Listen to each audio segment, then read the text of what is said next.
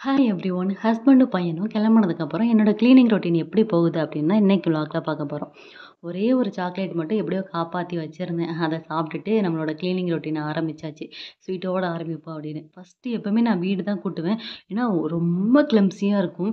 எல்லா இடத்துலையும் டாய்ஸ் இருக்கும். பாரபட்சமே பார்க்காம எல்லா இடத்துலையும் போட்டு வச்சுருப்பான். ஸோ அதெல்லாம் ஃபஸ்ட்டு ஒரே இடத்துல மொத்தமாக குமிச்சு வச்சிடுறது ஏன்னா ஒவ்வொரு இடத்துலையா போய் குனிஞ்சு குனிஞ்சு எடுத்துகிட்டு வந்தால் நமக்கு கடுப்பாக இருக்கும் இல்லையா? அதெல்லாம் ஒரே இடத்துல வச்சுட்டு டக்கு டக்குன்னு அதை எடுத்து அடிக்கிறது. இதை பண்ணுறதுக்கு வந்து எனக்கு டென் டு ஃபிஃப்டீன் மினிட்ஸ்க்கு மேலேயே ஆச்சு.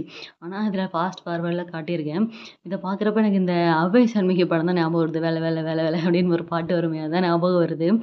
எல்லாத்தையும் பண்ணி முடிச்சாச்சு. இதே மாதிரி ஃபாஸ்ட் ஃபார்வர்டில் பண்ணுறதுக்கு ரியலில் பண்ணுறதுக்கு ஏதாவது மிஷின் தான் சூப்பராக இருக்கும்ல. ச்சே எல்லாத்தையும் எடுத்து வச்சுட்டு அப்புறம் வீடு தான் கூட்ட ஆரம்பிச்சிட்டேன். நம்ம வீட்டில் வந்து டஸ்ட்டு தான் அதிகமாக சேரும். குப்பை அந்தளவுக்கு இருக்கா இல்லையான்னு தெரியாது பட் டஸ்ட்டு ரொம்ப சேரும். ஏன்னா ரொம்ப காற்று சுற்றி எம்டி பிளேஸாக இருக்கிறதுனால அந்த டஸ்ட்டாக வந்திருக்கும். ஸோ க்ளீன் பண்ணி முடிச்சுட்டு இன்றைக்கி மாவுக்கு தான் ஆடை போட்டிருந்தேன். உளுந்து வந்து ஆல்ரெடி ஆடிருச்சு. அரிசி தான் ஓடிட்டு இருந்தது. அரிசியில் நான் கொஞ்சமாக மாவு ஆட்டுறப்போ உப்பு வந்து போட்டுருவேன். அதுலேயே கிரைண்டர்லேயே போட்டுட்டு உளுந்தையும் உள்ளேயே போட்டுருவேன் அரிசி ஆடின உடனே. அப்போனா ரெண்டும் அதுவே ஆட்டோமேட்டிக்காக மிக்ஸ் ஆயிரும். நான் எடுத்து பாத்திரத்தில் மட்டும் கொட்டிடுவேன் இப்படி பண்ணுறப்ப எனக்கு ஈஸியாகவும் இருக்குது பட் இட்லி தோசைலாம் நல்லா தான் வருது. அதனால் கம்மியாக ஆட்டுறப்ப மட்டும் இந்த மெத்தட் வந்து ஃபாலோ பண்ணிப்பேன். கிரைண்டரில் கொஞ்சம் தண்ணி ஊற்றிட்டு அதையும் அலசி அதில் ஊற்றிட்டேன் அப்புறம் வந்து கிரைண்டர் கழுவ போட்டாச்சு. இந்த கிரைண்டர் கல் கழுவுறப்போ நம்ம எப்படியும் பாத்திரம் கழுவுறதுக்குன்னு தனியாக ஒரு ப்ரஷ் வச்சுருப்போம் இடுக்கலெல்லாம் தேய்க்கிறதுக்கு. அதை வச்சு வந்து நல்லா இடுக்கில் தேய்ச்சி கழுவிட்டிங்க அப்படின்னா மாவு வந்து க்ளீன் ஆகிரும் ரொம்ப நீட்டாக இருக்கும். அப்போ நெக்ஸ்ட் டைம் வந்து நம்ம யூஸ் பண்ணுறப்போ வந்து நம்மளுக்கு கம்ஃபர்டபுளாக இருக்கும். இல்லை அப்படியே அப்படியே கழுவி மேலாப்பில் கழுவி வச்சிட்டிங்க அப்படின்னா அந்த மாவு காஞ்சி ஃபங்கஸ் மாதிரி ஃபார்ம் ஆகி அது நமக்கு தான் வந்து அன்ஹெல்த்தியாக இருக்கும்.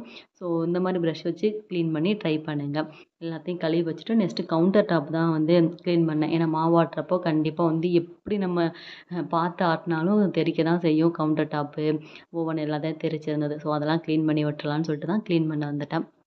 எங்கள் வீட்டு குட்டி வந்து இப்போ ரொம்ப சேட்டை பண்ண ஆரம்பிச்சிட்டாரு. நம்மளே அத்தனை கேள்வி கேட்குறான் நீ ஏன் அப்படி பண்ண? அம்மா அப்படி பண்ணணும். நம்ம சாப்பிட்டுட்டு உட்காந்துருந்தோம்னா எந்திரிச்சு போய் கை கழுவு அப்படிங்கிறது இந்த மாதிரி நிறைய வாய் பேசுகிறான் நமக்கு ஒரு பக்கம் சிரிப்பாகவும் இருக்கும். சரி நம்ம குழந்த வளர்ந்துருச்சு அப்படின்ற மாதிரியும் இருக்கும். சேட்டை ஓவர் சேட்டை. மேய்க்க முடியல இப்போலாம். அந்த அளவுக்கு சேட்டை கூடிருச்சு. ஓகே. கிரைண்டர் தான் தொடச்சிட்டு இருக்கேன். அந்த கிரைண்டர் மாட்டுற அந்த கம்பி இருக்கும் இல்லையா? அதுலேயும் மாவுலாம் கொஞ்சம் இருந்ததா?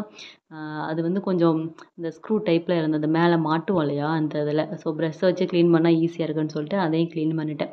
இந்த மாதிரி அப்பப்போ நம்மளுக்கு டஸ்ட்டுன்னு படுறத க்ளீன் பண்ணிட்டோம் அப்படின்னா நமக்கு டீப் க்ளீன் பண்ணுறப்போ ரொம்ப ஈஸியாக இருக்கும். டென் டு ஃபிஃப்டீன் மினிட்ஸ்லேயே டீப் க்ளீனே பண்ணி முடிச்சிடலாம். நம்ம ரெகுலராக க்ளீன் பண்ணிகிட்டே இருக்கிறப்போ. சில பேர்லாம் டீப் க்ளீன் பண்ணுறேன்னு சொல்லிட்டு ஒரு நாள் ஃபுல்லாக உட்காந்து பண்ணிகிட்டே கிடப்பாங்க. ஸோ அதெல்லாம் நமக்கு ரொம்ப அழுப்பாயிரும் டைமும் வேஸ்ட்டு தான் இல்லையா? அப்பப்போ க்ளீன் பண்ணுறப்போ நமக்கு ரொம்ப ரொம்ப வேலை ஈஸியாக முடிஞ்சிடும் இந்த சில பேர்லாம் மசால் பொடி டப்பா அந்த டப்பா இந்த டப்பா எல்லாத்தையும் எடுத்து போட்டு ஒரே நாளில் உட்காந்து கழுவுவாங்க. அதெல்லாம் பாருங்கள் எவ்வளோ அது ஒரு தனி வேலையாக தெரியும். அப்படிலாம் பண்ணவே கூடாது. நம்ம எப்படியும் வந்து காலியாகிறப்போ திரும்ப கொட்டி வைப்போம் இல்லையா? அப்போலாம் ஒரு டப்பா ரெண்டு டப்பா தான் சேரும். அதை அப்படியே டக்குன்னு கழுவி வச்சுட்டு ரீஃபில் பண்ணிங்க அப்படின்னா உங்களுக்கு ரொம்ப சிம்பிளாக வேலை முடிஞ்சிடும் அது ஒரு தனி வேலையாகவே தெரியாது.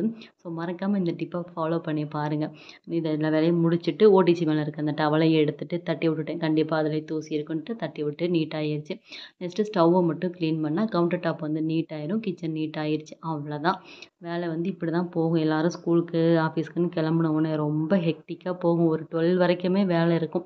அதுக்கப்புறம் தான் உட்காந்து ரெஸ்ட் எடுக்கிற மாதிரி இருக்கும். உங்களுக்கு எப்படி இருக்கும்னு சொல்லிட்டு மறக்காமல் கமெண்ட் பண்ணுங்கள் இன்னொரு ஒரு